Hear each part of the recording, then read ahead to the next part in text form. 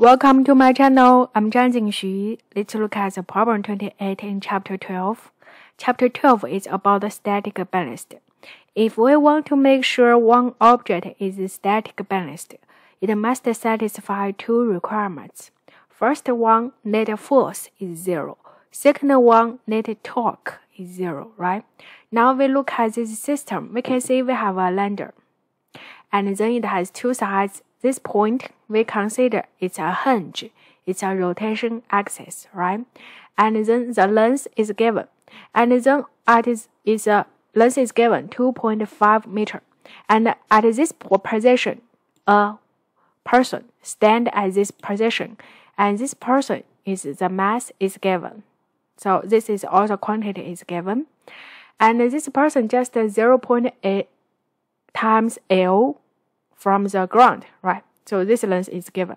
Now we need to draw a picture to show the force act on this system. And we find there is also tension uh, in the horizontal tie the rod.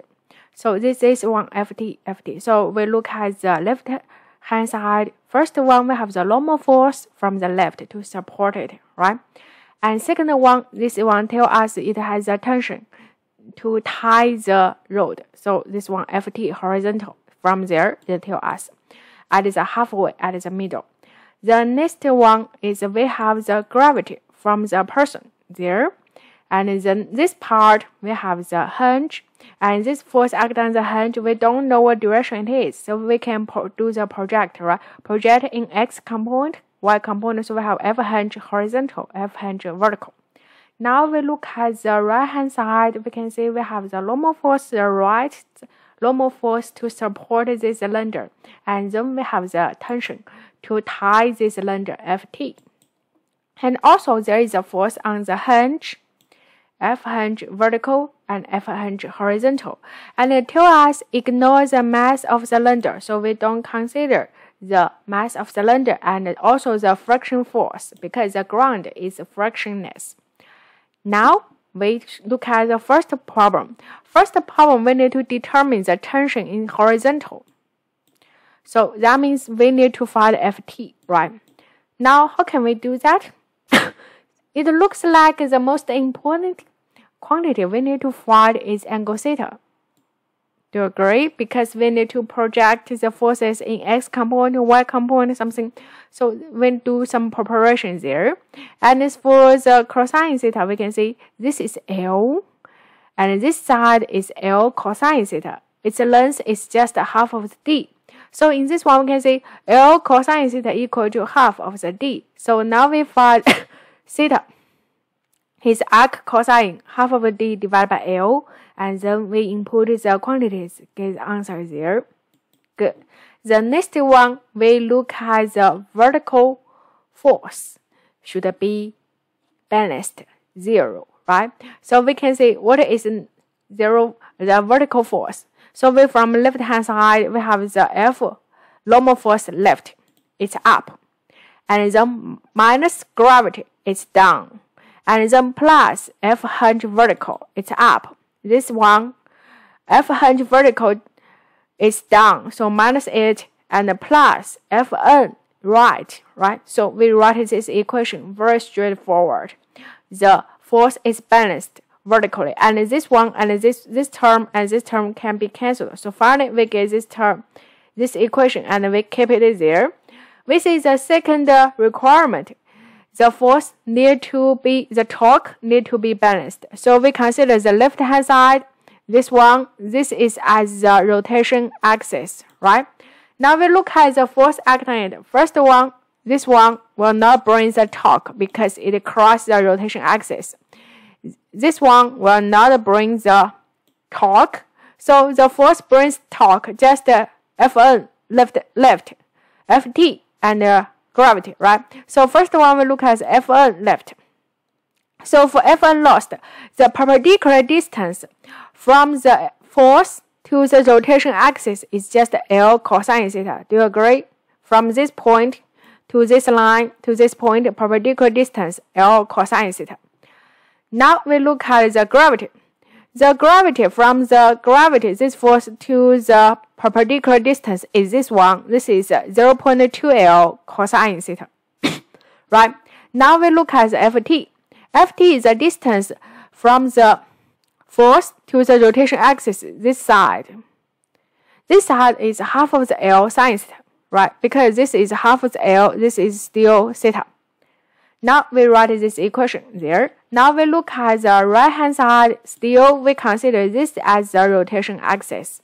So this force don't bring the torque. This force don't bring the torque because they cross this uh, rotation axis. Now we look at the Fn right side. So the perpendicular distance is half of d. We say it's just equal to L cosine theta. So we write it there. Use our right hand rule determine it is uh, a direction is negative, right? Now we look at ft. For ft, the perpendicular distance from this one to there is this one. Is uh, this side. This side is half of L sine theta. Now we write this uh, net torque equal to zero for left side and right hand side, right? For these two equations, we use this equation. First one minus this one, we can get this equation. Now will find something very interesting. This term. So this term just equal to mg. Agree? So we put input is mg inside the function can be the equation can be simplified as this one and solve the function for ft. We get a it looks like this one. Input is the known quantities. We get the answer for ft. The second part we can see is we need to determine the Fn left and Fn right. So this one we need to find. This one we need to find. So in this one, how can we do that? We can see what we just solved. In this one, you can see we just give ft. If we input ft inside in this equation, in this equation, can we find fn left? Sure, because if we input ft, this one is get, right? After we get fn left, the most easy way is comes to there, we can get fn right. So this one, first one, we copy this equation. We copy this equation at this part, and ft is get, so we get fn right. And then this fn left plus fn right equal to gravity. And then input is fn right, we get fn left. The third part is to determine the force uh, act on the hinge. So that means we need to find the F hinge vertical and F horizontal, right? So we look at look at the right hand side of this cylinder. So first one vertically the force is balanced. So we can see we have this uh, up vertically up Fn right and this is vertically down F hinge vertical. So it is balanced equal to zero. In this way, we find F hinge vertical up, this one. And then we look at the horizontal. So horizontal, we have two forces, F hinge horizontal and Ft, right? So we write the equation, apply Newton's second law, the force is balanced. Then we can find the force for F hinge horizontal. Now you can see for this F hinge force, we have X component and Y component. So very easily we can find its magnitude and angle. Thank you.